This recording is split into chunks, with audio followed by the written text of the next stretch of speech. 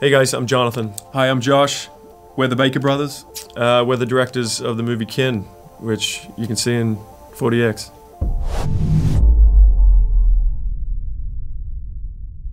We literally just uh, finished watching the movie in 4DX, and uh, wow, it was a unique experience, and that is hard to actually come by these days because we've seen it how many times? Uh, 200 times, and honestly, I've never seen it like that.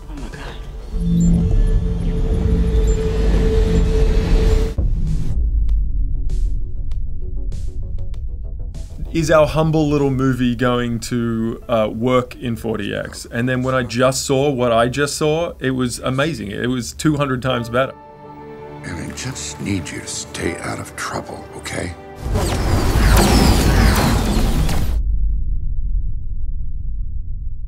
Uh, there was a couple scenes that worked really well. The uh, the scene in the with the hay bales where he's firing like the gun for the first time, we can kind of really see it. Um, that worked really well. He shot, and then the hay bales blew up, and the light like hit from the sides. That was that was really great. Another one was the the donuts scene.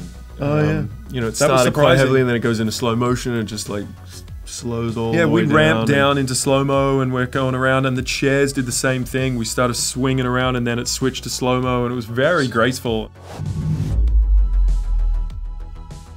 The weapon is a, is a voice in the film. Yeah, it's the, a character. The, the weapon has this um, metronome quality to it, where it's like bleeping in time, and you guys captured that and kind of really mm. lent into that. And so, so, when you had this chime going, your chair is kind of falling into the exact same metronome. That was really cool. And then just the, the vibration of it. Like I knew every time the weapon was on screen because the my engine, body feels yeah, it. the engine was running and yeah. your, your chair felt like you were part of it. That's cool.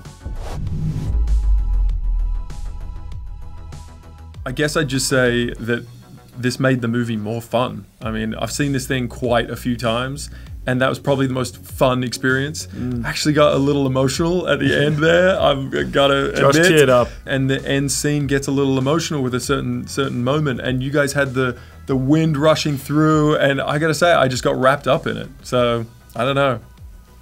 And he half directed it, so that's saying something.